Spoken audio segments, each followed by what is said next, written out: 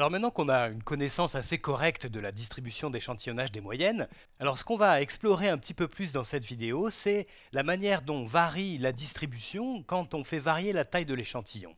Alors on va d'abord commencer par revoir un petit peu ce qu'on avait fait dans les, vidéos précédentes. Alors, ce qu'on avait fait, c'est qu'on était parti d'une distribution absolument quelconque, vraiment n'importe laquelle, Bon, pour simplifier, on va prendre une distribution discrète, hein, avec une variable discrète, parce que sinon ça serait un peu plus compliqué à, visualiser. Mais là, là ce qu'on va faire, c'est décider un listogramme d'une distribution absolument quelconque. Donc par exemple, on peut avoir cette valeur-là, ici c'est la valeur 1, disons. On peut avoir euh, une valeur 2 euh, avec un petit peu moins de chance d'avoir cette valeur 2. On va dire au contraire qu'il y a une probabilité assez élevée d'avoir la valeur 3. Euh, une probabilité nulle d'avoir la valeur 4, hein, donc là ça serait un bâton de taille nulle. Et puis euh, la valeur 5, elle est aussi, elle, euh, disons, assez probable aussi, voilà, ça c'est la valeur 5. Et puis la valeur 6, elle est probable aussi, mais moins, voilà, là, je fais vraiment une distribution complètement hasard avec. En fait, ce que je veux, c'est qu'elle ressemble pas à une loi normale. Alors, on va dire qu'il n'y a absolument aucune possibilité d'avoir un 7 ni un 8. Hein. Donc, probabilité nulle d'avoir un 7 ou un, 8. Et puis, euh, le, 9, par contre, est une valeur euh, qu'on a assez fréquemment. Voilà. Donc, ça, c'est vraiment une distribution quelconque. Hein. Je l'ai faite comme ça au hasard. Et ce qu'on avait fait dans la vidéo précédente, c'est qu'on avait prélevé euh, au hasard des échantillons dans cette distribution, et on avait choisi des échantillons de taille 4. Hein. Donc, euh, qu'est-ce que ça veut dire prendre un échantillon de taille 4 Ça veut dire qu'on va choisir au hasard 4 valeurs dans cette distribution. Donc, euh, il y aura beaucoup de chances d'avoir un 9, beaucoup de chances d'avoir un 5. On ne pourra pas avoir de 7 ou de 8 ni de 4, puisqu'il y a une probabilité nulle d'avoir un 4, un 7 ou un 8. Donc voilà, en fait, on prélève euh, au hasard quatre, euh, quatre valeurs de, dans cette distribution. Alors, je vais le faire là. On peut par exemple avoir, euh, on peut dire qu'on a prélevé d'abord un échantillon de taille 4. Donc là, je vais mettre, ça c'est la taille de l'échantillon, n égale 4. Donc on va dire que, par exemple, la première valeur qu'on a choisie, c'est un 9. Effectivement, il y a beaucoup de chances d'avoir un 9. Ensuite, on a eu un 5. On a prélevé un 5. Bon, là aussi, il y a beaucoup de chances d'avoir un 5. Ensuite, on a eu un 9, encore une fois. Et puis, la dernière valeur, ça a été un 1. Donc, il n'y a pas beaucoup de chances d'avoir un 1, mais c'est quand même possible. Donc là, c'est ce qu'on a eu. Alors, ce qu'on a fait ensuite à partir de cet échantillon, c'est qu'on a calculé sa moyenne. Alors, la moyenne, on l'a appelée x1 bar. Et on l'a calculé tout simplement en faisant la somme des valeurs et en divisant par euh, le nombre de valeurs, c'est-à-dire 4. Donc ici, ça ferait 9 plus 5, 14, plus 9, 23 plus 1, 24. Donc on aurait ici 24 sur 4 comme moyenne. 24 sur 4, ça fait 24 divisé par 4, ça fait 6. Voilà. Donc la moyenne de cet échantillon, ici, de, taille 4, c'est 6. Alors ensuite, ce qu'on a fait, c'est placer euh, cette moyenne sur un, graphique. Donc là, je vais retracer un, axe. Et je vais tracer cette moyenne d'abord, qui correspond à cet échantillon-là. Donc je vais faire tout simplement un point ici pour la valeur 6. Ça, c'est la valeur 6. Donc j'ai un point qui représente la moyenne x1 bar de ce premier échantillon. Alors, on peut continuer à faire ça, on, continue à faire ça, et on va avoir d'autres euh, échantillons avec d'autres moyennes qu'on va continuer à placer là-dessus. Donc, je peux avoir par exemple un deuxième échantillon qui a aussi moyenne 6, hein, c'est possible. Je peux avoir aussi un autre échantillon qui va avoir une moyenne que je vais placer ici, donc c'est peut-être 4 ou 5. Et puis, euh, je peux continuer. Je vais avoir encore un autre échantillon, disons, de moyenne, euh, par exemple 7, ici, 8 euh, ici. Voilà. Et donc, si je continue à faire ça, donc c'est toujours des échantillons prélevés de taille 4, prélevés dans ma distribution initiale. Alors, ce qu'on avait vu dans les vidéos précédentes, c'est que si on continue à faire ça, on allait avoir, en fait, on, continue à placer sur, un graphique les, moyennes, eh bien, on va avoir quelque chose qui va s'approcher d'une loi normale. Hein. Donc ça va être euh, quelque chose qui va avoir une forme en, cloche comme ça. Voilà. Bon, évidemment, ça ne sera pas parfaitement une loi normale, parce que déjà, il y a une grosse différence, c'est que euh, on ne peut pas avoir ici de valeur inférieure à 1. Hein. La moyenne, quand on prélève un échantillon dans cette distribution, les valeurs possibles, c'est entre 1 et 9. Donc une moyenne nulle, par exemple, c'est pas possible. Donc ici, on n'aurait aucune valeur inférieure à 1, en fait, hein. même, pas, même pas à 0, mais à 1, et aucune valeur supérieure à 9. Hein. Donc effectivement, on n'aurait pas, dans le cas d'une loi normale, on aurait des queues de distribution euh, qui, ne se terminent pas, infinies, à droite et à gauche. Ici, ce ne sera pas le cas puisque ça va s'arrêter, enfin on va avoir une valeur maximale et une valeur minimale. Hein. Alors effectivement, ça c'est une grosse différence par rapport à la loi normale, mais quand on regarde la partie centrale, la partie qui est ici, eh bien en fait, on va s'approcher d'une distribution normale, hein, de la forme d'une distribution normale. Alors ce que je voudrais approfondir dans cette vidéo, c'est quelque chose dont on a déjà parlé avant, c'est qu'est-ce qui se passe quand la taille de l'échantillon varie. Alors ici on a pris un échantillon de taille n égale 4, hein, la taille c'est 4, donc ici on va se demander qu'est-ce qui se passe quand n varie qu'est-ce qui se passe quand n varie? Alors ici, on a pris des échantillons de taille 4, on aurait pu prendre des échantillons de taille 10, c'est-à-dire ici, on aurait pu prélever 10 valeurs dans cette distribution, ça nous aurait donné un échantillon de taille 10, on aurait pu calculer sa moyenne et la placer sur le graphique, recommencer, resélectionner une dizaine de 10 valeurs exactement dans cette distribution, en calculer la moyenne et la placer exactement comme on a fait ici avec euh, une taille d'échantillon de 4. Voilà. On l'a fait dans une précédente vidéo en utilisant une simulation qui est faite euh, sur un site internet. On va, on va la reprendre d'ailleurs, cette simulation. Voilà, on avait utilisé des tailles d'échantillons de 5, de 25, on peut le faire avec 10, enfin voilà. Alors, avant de reprendre la simulation euh, qu'on a vue la dernière fois, je voudrais insister un petit peu, regarder un petit peu ce qui se passe avec des petits échantillons. Donc, le cas le plus petit, c'est quand n est égal à 1. Hein. Je vais remonter un petit peu ça. Donc je vais faire ça. Hein. Je vais prendre une taille d'échantillon n égale 1. Alors qu'est-ce que ça veut dire? Ça veut dire que mon échantillon, ça sera juste une valeur de, la distribution. Donc je vais prélever une valeur de la distribution. Je vais calculer la moyenne. Ça sera cette valeur elle-même, évidemment, puisqu'il n'y a qu'une seule valeur. Et ensuite, je vais placer donc du coup cette valeur. Alors je vais tracer un graphique. Hein. Donc je vais placer mon axe. Voilà. Ensuite, ce que je fais, c'est prélever finalement une valeur là-dedans. Alors, quand je prélève une valeur là-dedans, j'ai un certain nombre de chances. il est possible que j'ai des 1. Hein. J'ai pas mal de chances d'avoir des 1 quand même. Donc les 1, je vais les mettre ici. Ça, c'est la valeur 1. Donc il est possible que j'ai des 1. Je peux avoir aussi, euh, j'ai quelques chances d'avoir des 2, mais un petit peu moins. Donc je peux avoir euh, un certain nombre de 2 ici, par exemple. Et puis j'ai beaucoup de chances d'avoir des 3. Alors je vais avoir, euh, là je vais mettre les 3, je peux avoir beaucoup de, de 3 comme ça possible que j'en ai vraiment beaucoup. Alors je ne sais pas combien d'essais je fais, mais je fais un grand nombre d'essais. Hein. Alors par contre, j'ai aucune chance d'avoir un 4, puisque la probabilité d'avoir un 4 est nulle ici. Hein. Donc j'ai aucune chance d'avoir un 4. Donc dans ma distribution d'échantillonnage de la moyenne, dans ce cas-là pour n égale 1, il n'y aura aucune, aucune valeur 4. Hein.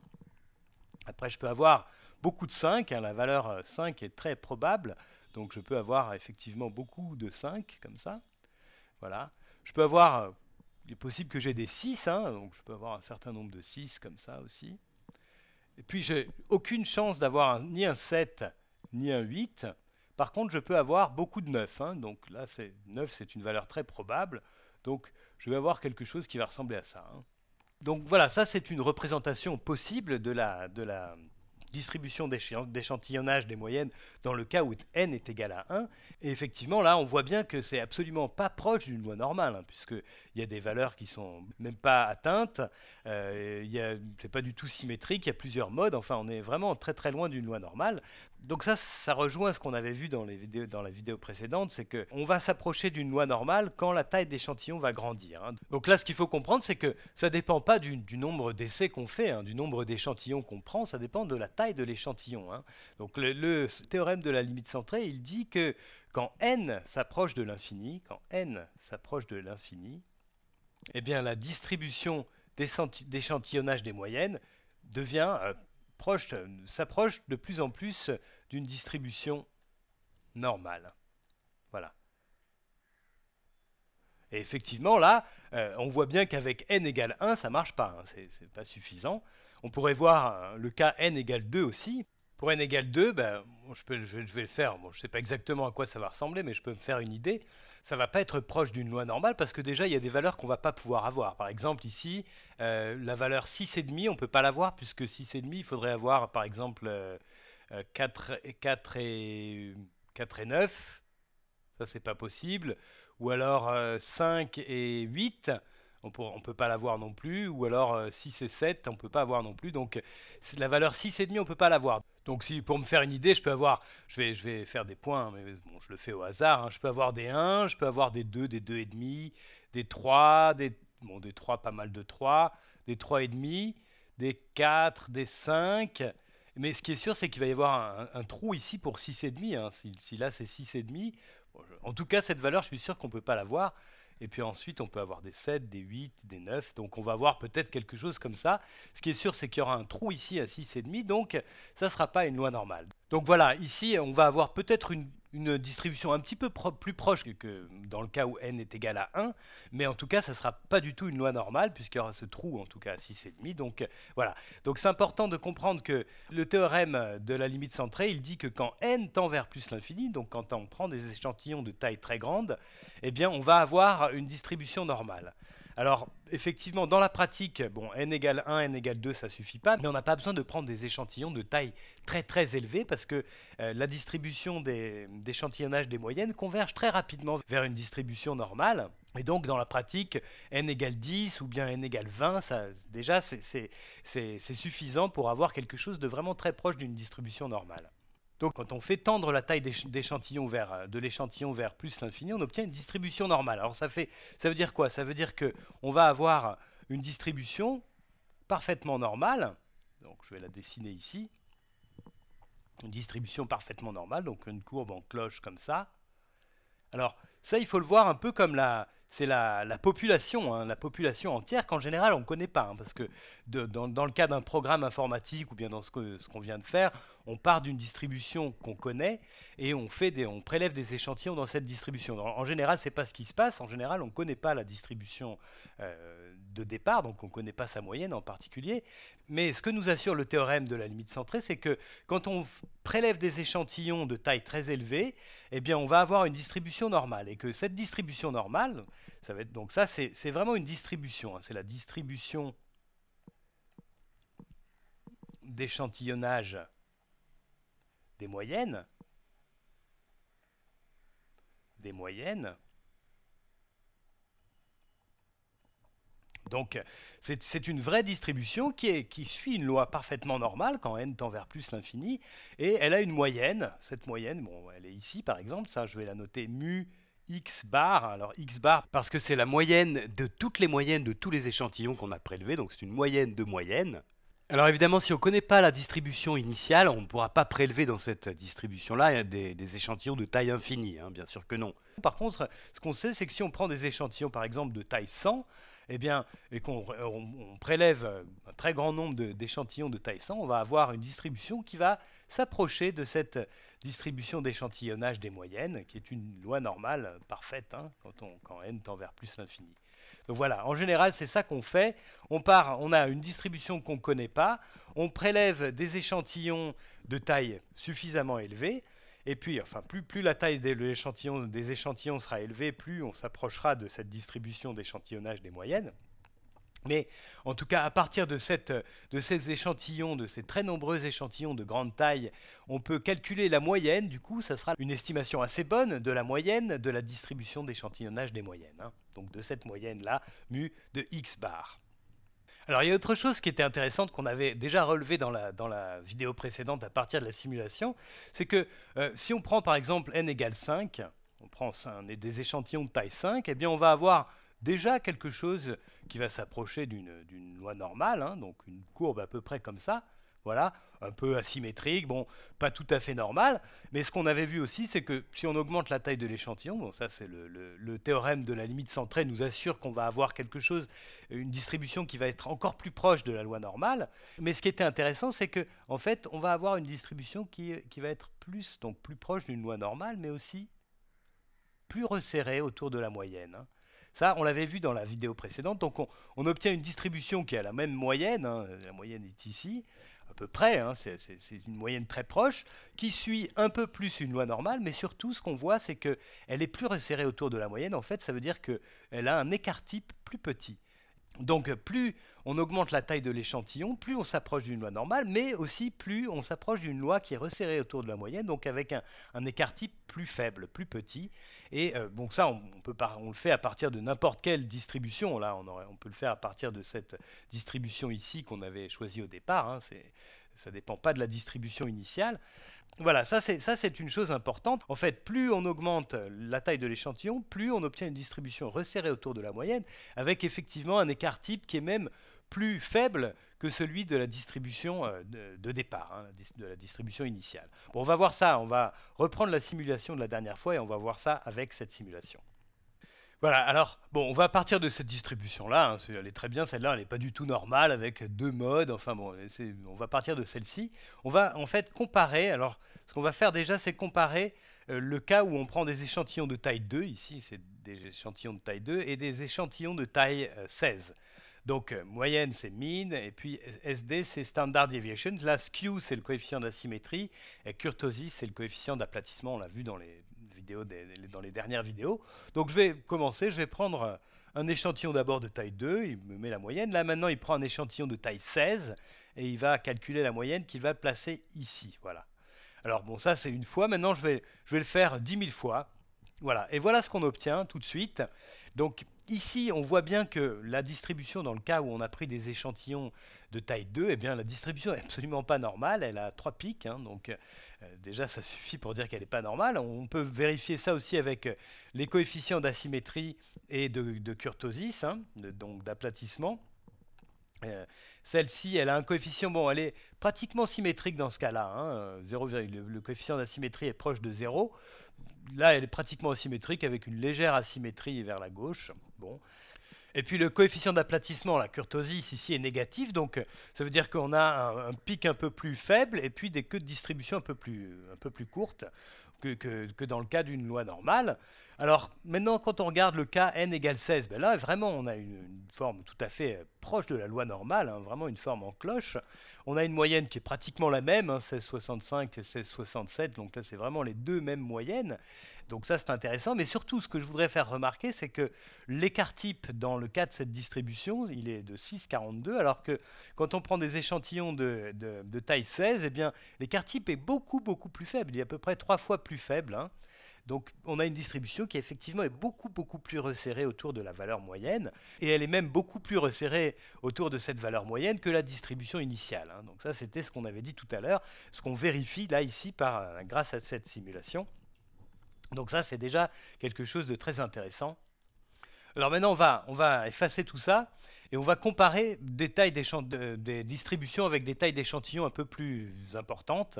Donc on va prendre par exemple n égale 16 ici, et puis ici on va prendre n égale 25. Voilà. Alors, bon, je vais le faire une fois hein, pour, euh, pour voir ce qui se passe. Donc là, on prélève un échantillon de taille 16. ici, voilà, c'est ce qu'il fait. Maintenant, il va calculer la moyenne et la placer ici. Et là, il prend un échantillon de taille 25. Voilà et il va calculer la moyenne et la placer dans le graphique, euh, dans ce dernier graphique ici. Alors, voilà, exactement.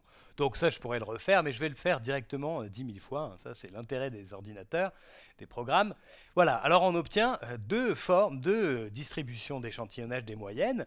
Dans les deux cas, les distributions sont très très proches d'une loi normale. Hein. Ici, dans le cas n égale 16, on a un coefficient d'asymétrie qui est pratiquement nul, hein, moins 0,01 un aplatissement qui est très faible aussi, donc on est effectivement là très proche d'une loi normale.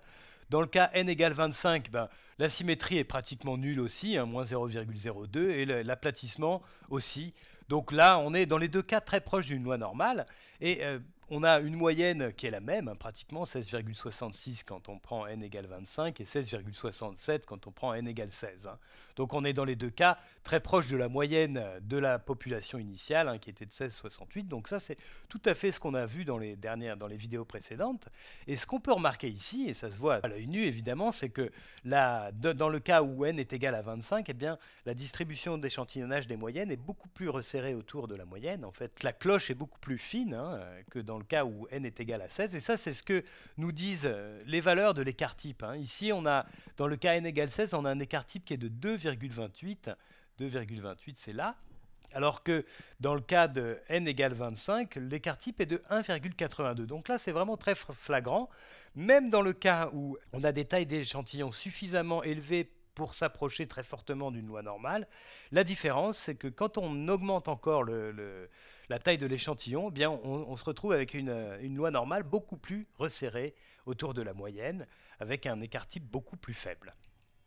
effectivement, ça se comprend, on en a déjà rapidement parlé dans les, dans les vidéos précédentes. En fait, on peut voir, pour, se faire une idée, c'est pas mal de, de, prendre un cas vraiment extrême. Par exemple, si on prend des échantillons de taille 1 million, Eh donc ça veut dire qu'on va prélever euh, un million de données dans cette distribution-là, et effectivement il y a très très peu de probabilité qu'on prenne un million de données dans cette partie-là, par exemple. Donc en fait, quand on prend un échantillon de 1 million de données dans cette distribution, et qu'ensuite on en fait la moyenne, eh bien on va avoir une, moyenne qui va s'approcher, euh, qui va s'écarter très peu de la moyenne initiale. Hein. Ça paraît euh, tout à fait logique, puisqu'il y a très peu de chances d'avoir pris euh, un million de valeurs très loin de la, de la moyenne. Donc en fait, on a beaucoup de chances d'avoir pris un million de valeurs disséminées autour de la moyenne, et quand on va prendre la, moyenne de ces 1 million de valeurs, on va effectivement être très proche de la moyenne réelle de la, de la distribution.